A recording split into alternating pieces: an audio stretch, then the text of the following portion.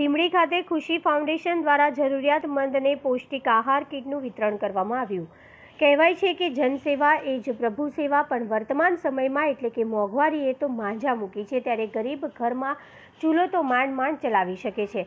એવા એક, એવા એ લોકો છે જે વાર તહેવારમાં ખુશી મનાવી શકતા નથી. ત્યારે દરેક લોકો પોતાના બાળકો માટે જ વાર તહેવારમાં ઘણા ખર્ચા કરતા હોય છે.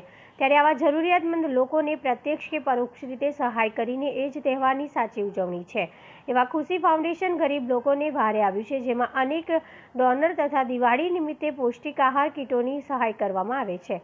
જે આજે આશરે ચાલીસ જરૂરિયાતમંદ લોકો જેમ કે વિધવા બહેનો, નિરાધાર પીએલએચ દર્દીઓ વગેરેને ગોળ, તેલ, ચા, ખાંડ, મીઠાઈ, કઠોળ, સાડી, ફટાકડા વગેરેની કીટનું વિતરણ કરવામાં આવ્યું હતું તેમજ બાળકોને કપડાં પણ આપવામાં આવ્યા હતા. આવી જ રીતે ખુશી ફાઉન્ડેશન વર્ષમાં ઉત્તરાયણ, સાતમ, આઠમ અને દિવાળી વગેરે તહેવારોમાં વિશેષ સેવાકીય કાર્યક્રમ કરવામાં આવે છે. તેમજ સાથે સાથે શૈક્ષણિક, સામાજિક અને આરોગ્યલક્ષી માર્ગદર્શન પણ પૂરું પાડવામાં આવે છે. કૃષિ ફાઉન્ડેશન છેલ્લા બે વર્ષથી સતત સેવાકીય પ્રવૃત્તિ કાર્યરત છે.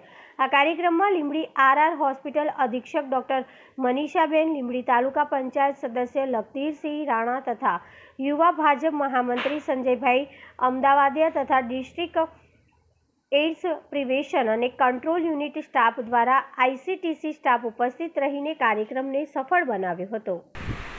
આજરોજ લીંબડી આઈસીટીસી સેન્ટર ખાતે કૃષિ ફાઉન્ડેશન દ્વારા જરૂરિયાતમંદ બાળકો અને મહિલાઓ માટે દિવાળીનો ઉજવણી કાર્યક્રમનું આયોજન કરવામાં આવ્યું હતું. જેમાં કૃષિ ફાઉન્ડેશન દ્વારા અવારનવાર જે ન્યુટ્રિશન કીટ આપવામાં આવે એની સાથે સાથે દિવાળીના તહેવાર નિમિત્તે વિધવા બહેનોને સાડી, બાળકોને કપડાં અને મીઠાઈ તથા ફટાકડા વિતરણનો કાર્યક્રમ કરવામાં આવેલ હતો, જેમાં અંદાજે પચાસથી સાઠ લોકોએ આ કાર્યક્રમમાં ભાગ લીધો હતો. અને કૃષિ ફાઉન્ડેશન દ્વારા જુદા જુદા જે લોકલ દાતાશ્રીઓ છે, તેમના દ્વારા આ સમગ્ર કાર્યક્રમ માટે દાન મેળવવામાં આવેલ હતું. અને દર મહિનાની સત્યાવીસ તારીખે કૃષિ ફાઉન્ડેશન દ્વારા જરૂરિયાતમંદ વિધવાઓ અને બાળકો માટે આ પ્રકારના ન્યુટ્રિશન કીટનું વિતરણ કરવામાં આવે છે, જે લીમડી આઈસીપીસી સેન્ટર ખાતે આયોજન કરવામાં આવે છે.